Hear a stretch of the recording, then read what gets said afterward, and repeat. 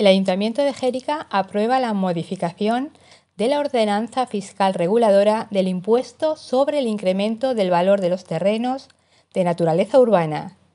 El Ayuntamiento de Jérica aprueba la modificación de la ordenanza fiscal reguladora del impuesto sobre el incremento del valor de los terrenos de naturaleza urbana, plusvalía municipal, para su adaptación a las modificaciones introducidas por el Real Decreto Ley 26-2021 del 8 de noviembre, además de esas modificaciones obligadas que afecta a la forma de cálculo del impuesto, se introducen las siguientes por decisión del ayuntamiento.